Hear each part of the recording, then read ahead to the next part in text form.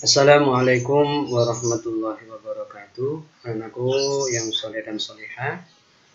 Mari kita awali pembelajaran pada pagi hari ini Dengan berdoa kepada Allah subhanahu wa ta'ala Dengan tujuan semoga kalian dalam belajar diberikan kemudahan eh, Diberikan kelancaran, kesehatan Sekaligus kalian dijadikan ilmu kalian yang manfaat barokah dunia akhirat serta nantinya menjadi putra putri yang soleh dan solehah.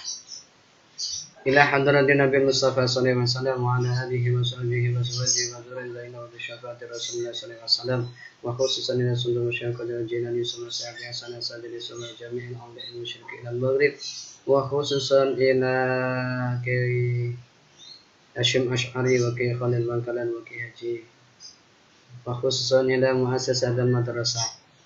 ولقضي حاجاتنا وحاجاتكم بسر الفاتحة. أعوذ بالله من الشيطان الرجيم. بسم الله الرحمن الرحيم. الحمد لله رب العالمين. الرحمن الرحيم. مالك يوم الدين. إياك نعبد وإياك نستعين. اهدنا الصراط المستقيم. صراط الذين أنعمت عليهم. غير المغضوب عليهم ولا الضالين. رب اغفر لي ولوالدي وللمؤمنين آمين. بسم الله الرحمن الرحيم. رضيت بالله ربا وبالإسلام دينا وبمحمد نبيا ورسولا. ربي زدني علما وارزقني فهما. آمين يا رب العالمين. بسم الله الرحمن الرحيم. اللهم صل صلاة كاملة وسلم سلاما تاما على سيدنا محمد الذي تنحل به العقد وتنفرج به الكرب وتقضى به الحوائج. وتنال به الرغائب وحسن الخواتم ويستسقى الغمام بوجه كريم وعلى آله وصحبه في كل لمحة ونفس بعدد كل معلوم لك برحمتك يا أرحم الراحمين Pada pagi hari ini kita akan belajar tentang pertumbuhan pada hewan Su, uh, tema 1 subtema 3 anak-anakku kalian pasti di rumah mempunyai hewan peliharaan. Pertumbuhan hewan peliharaan kalian ini sangat bergantung bagaimana kalian merawat Ketika kalian merawat dengan baik, kalian merawat, memberi makan, minum dengan teratur, eh, kandang kemudian dibersihkan, eh, pertumbuhan eh, hewan peliharaan kalian akan menjadi sehat dan cepat besar. Di sini Pak Bahar memiliki contoh pertumbuhan ayam kalian perhatikan dari gambar-gambar berikut ini.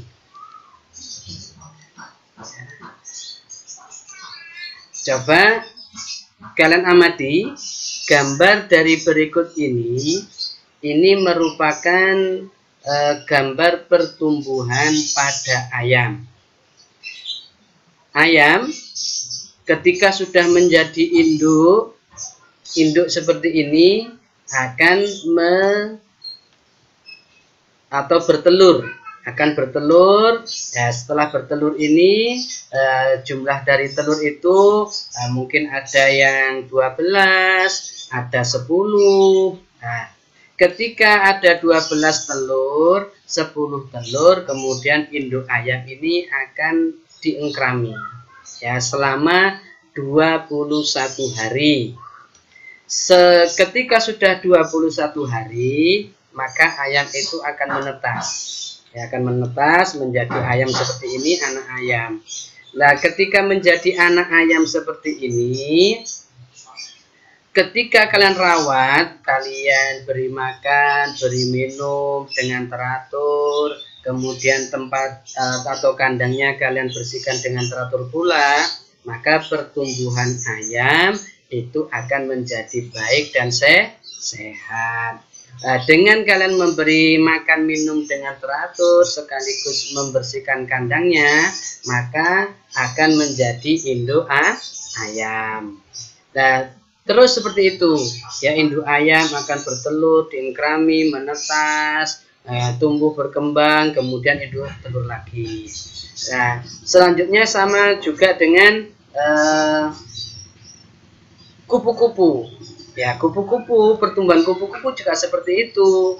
Nah, kupu-kupu itu e, berkembang biak dengan telur seperti juga dengan ayam tadi. Ayam itu juga berkembang biak e, menurunkan keturunan ini dengan te telur. Dari telur e, kemudian menjadi ulat. Ya, setelah ulat akan menjadi kepompong. Nah, setelah kepompong akan menjadi kupu-kupu yang indah, kupu-kupu yang bagus. Ya, padahal awalnya dari u ulat. Ini e, pertumbuhan pada kupu-kupu. Selanjutnya juga ada pertumbuhan pada kata.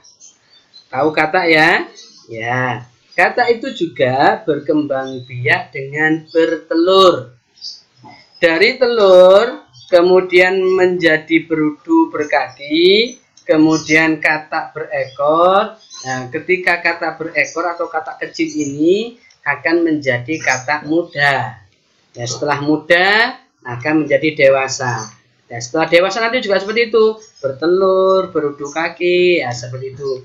Nah, ini adalah pertumbuhan pada kata ayam, eh, kupu-kupu, kata itu berkembang biak dengan bertelur. Beda ya dengan kucing. Ya, kerbau. Ini berkembang biak dengan apa nah? Melahir, melahirkan. Anak-anakku selanjutnya eh, dalam hidup ini pasti ada eh, perbedaan. Mungkin Kalian dalam berteman, ada temanmu yang suka kucing. Kamu tidak suka kucing. Ada temanmu yang suka memelihara kelinci. Kalian tidak suka. Nah, dengan adanya perbedaan-perbedaan seperti itu, kita harus saling menghormati. Kita harus saling menghargai dan kita harus saling tolong menolong. Supaya apa? Supaya pertemanan, eh, persahabatan ketika ada saling menyayangi, saling menghormati, saling menolong, itu akan menjadi lebih ba lebih bagus. Apalagi Allah pun juga eh, sangat menganjurkan kita bertolong menolong dalam hal yang bagus tidak boleh tolong menolong dalam hal yang jel yang jelek. Sekali lagi mari kita menghargai perbedaan-perbedaan apa saja yang ada uh, di dalam persahabatan pertemanan atau yang lain. Anak-anakku yang soleh dan soleha selanjutnya mari kita belajar membaca sekaligus berhitung di sini ada satu contoh, uh, Pak Siko memiliki empat kandang anak ayam. Ini kandangnya, kandang satu, kandang dua, kandang tiga, kandang empat, empat kandang. Nah, setiap kandang itu ada sepuluh ekor anak ayam. Karena apa? Tadi eh, telur yang diengkrami oleh induk ayam itu jumlahnya sebu 10 Alhamdulillah dalam jangka 21 hari setelah diengkrami semua telur itu menetas. Jadi menjadi sebu 10 kandang 1 10 kandang 2 10 kandang 3 10 kandang 4 10 10 pertanyaannya anak-anak berapa jumlah ayam seluruhnya? Ya, kita bisa menambahkan jumlah anak atau anak-anak ayam yang ada di kandang satu tambah anak ayam yang di kandang dua ditambah kandang ketiga kandang keempat. Berarti berapa? Kalau masing-masing ini 10 berarti 10 ditambah 10 ditambah 10 ditambah 10 nah penjumlahan berulang ini kalau ditulis dalam bentuk perkalian itu 10 dikali 4 atau boleh dibalik 4 kali 10 10 sama saja. Berarti ada per, berlaku pertukaran tem, tempat. 4 kali 10 sama dengan 40 10 kali 4 juga sama dengan berapa? 40 anak-anakku yang sore dan soleha Eh, contoh berikutnya, ini uh, Udin memiliki tiga buah kandang. Ya, kalau tadi Pak Siko empat, nah Udin memiliki tiga buah kandang yang berisi 12 ekor. Ya, kandang pertama ini ada 12 ekor anak ayam. E, kandang kedua juga ada 12 ekor anak ayam. Kandang ketiga juga ada 12 eh, anak eh, ekor ah, ayam. 12 ekor anak ayam. Berapa keseluruhan jumlah eh, ayam atau anak ayam milik Udin? Ya kalau dijumlah berapa sama dengan nah, 12 ditambah 12 ditambah 12 ditambah 12 sama dengan berapa? 36 6 36 ekor anak ayam.